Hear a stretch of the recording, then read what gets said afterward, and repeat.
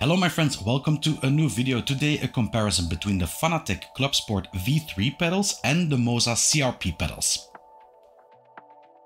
When it comes to the design, well, this is something personal. I like both of them. I like the design of both. Uh, the Moza has a bit more uh, accent colors than the Fanatec, but both look very stylish to me. The CRP pedals were released in 2023 and the pedals from Fanatec already date from 2015. Both feature a three pedal setup with a very similar design at first sight. Both sets feature adjustable pedal faces and the clutch and accelerator pedal of the Moza set can be moved 1 cm outwards. The pedals of the CRP set are angled almost in a 90 degree angle, while the Fanatec pedals are more inclined backwards. The biggest difference between both designs is the single structure of the Club Sport pedals versus the modular setup of the CRP pedals.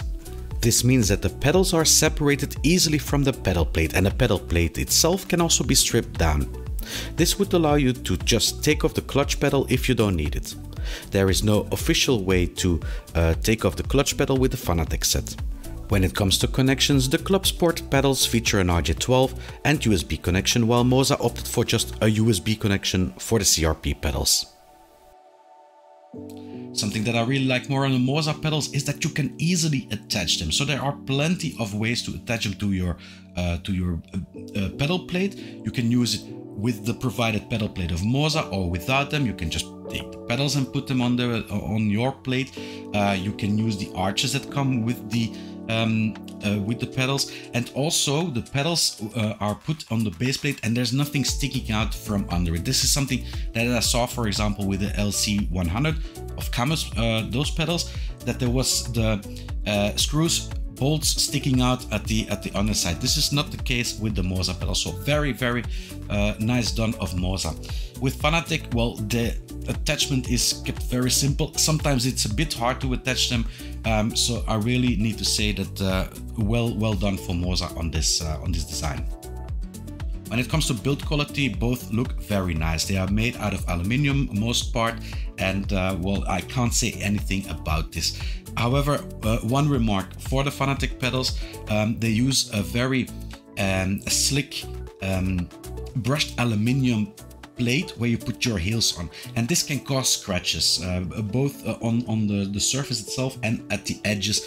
It can it can uh, it can scratch very easily. So that's something less. It looks very nice when it's new very nice but over time i think uh, some scratches will appear on that.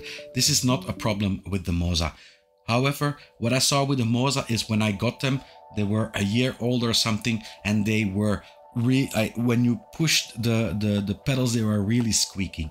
Now this was resolved with a bit of lithium grease on it that now they stop squeaking. However something which still squeaks are the springs themselves. So um, the, the, very thin springs that they use uh, I don't think they are the best quality uh, that, that, that they could use on it. And those uh, when you um, press in the the clutch the accelerator it tends to squeak the accelerator pedal feels for both comparable when it comes to smoothness. The resistance is handled with the, the Fanatec by exchanging the springs. Even with the black spring, I could have done with a bit more resistance.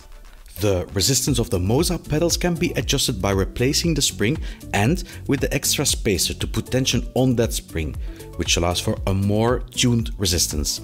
While driving them, I had a small preference for the feeling of the Moza accelerator because of that added resistance. For the Club Sport set, the brake pedal resistance can be changed out of the box without any tools to adjust the travel of the pedal. For the brake, there are no other springs available. The travel remains quite large even on the highest setting with the standard elastomers that are included. While absolutely no issue in games like BeamNG, I can imagine that the hardness can be inadequate for people driving in racing games. For myself, while driving them, I find them adequate since I like a bit of a longer travel on my brake. The brake of the Moza can be adjusted by swapping springs or adding a different rubber on the back. I have the same remark for these pedals as I had with the Fanatec pedals. Don't expect them to be super hard even with the stiffest spring and elastomer installed. Here, you can really appreciate that Moza offers a different elastomers as part of the package, while for Fanatec it remains an option. I would like to say, however, that the adjusting of the pedal settings was a very unnerving task. The first time I tried to change the elastomer, I pulled the connector out and it was not easy to get it back on, so be prepared for some cursing when you need to adjust these pedals. I would say that during the driving sensation, both sets feel, yeah, pretty much balanced. I had no real preference for either one when it came to braking. The clutch is quite different between both. Both have a multi-step feeling for the clutch to try and simulate the biting point. The Fanatec uses a levered system which feels very fluent. Apart from the spring, there are no other adjustments that can be done for the mechanism.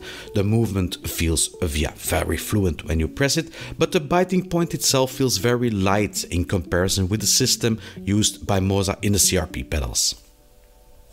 The mechanism they use is more of a system with a roll down path towards the end of the treble to simulate the biting point. This design makes you feel the biting point of the clutch very clearly. The compression of the spring can also be adapted to further fine-tune the length to where you reach the biting point. When I started out with this clutch, uh, it felt a bit strange, but after a few days I got used to it and it was working pretty well. The only problem I had with it, the sound of the spring.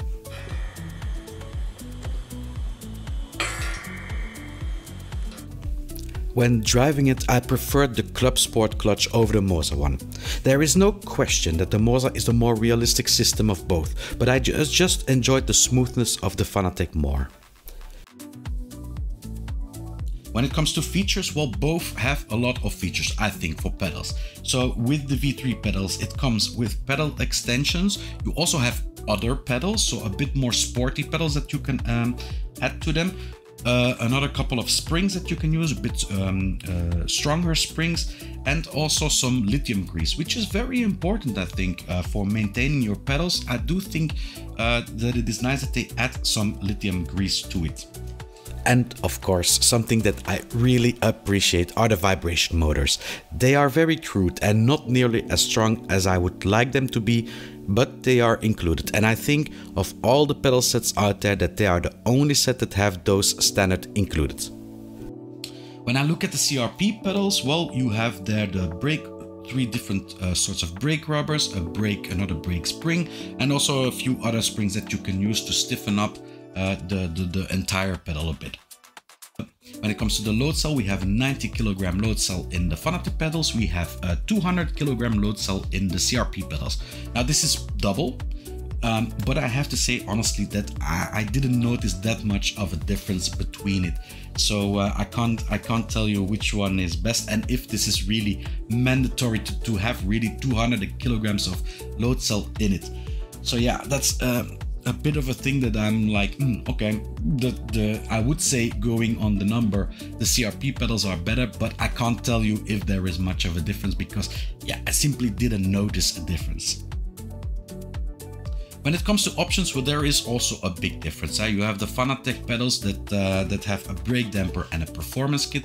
Um, I tested the performance kit and it is it is really a handy option to have. So what it does, it is ma it makes the brake a bit stiffer, uh, and adds a, a bit of uh, harder elastomers that you can put in the brake. Um, so yeah, it's a very, very handy option to have. On the other hand, the CRP pedals, they already have the extra um, elastomers included uh, in, in the package. So that's, that's good of, uh, of, of, of Moza. However, they don't have any other options available for these pedals. So price and availability, we have the Fanatec pedals that come in at 400 euro and we have the uh, CRP pedals that come in at 500 euro. Fanatec sells the pedals via their official Fanatec website and Moza also via their website, but also via the dealer. So perhaps at certain uh, areas they can be had a little cheaper too. The compatibility is very important. The CRP pedals can only be connected via USB. This basically means that they cannot be connected directly to the wheelbase and can only be used on the PC platform, not console. Which is a bit weird since they do have a wheelbase now that is compatible with the Xbox platform. if we look at the Fanatec, the Fanatec are compatible with the PlayStation platform and Xbox platform if you connect them directly to the base, which is possible.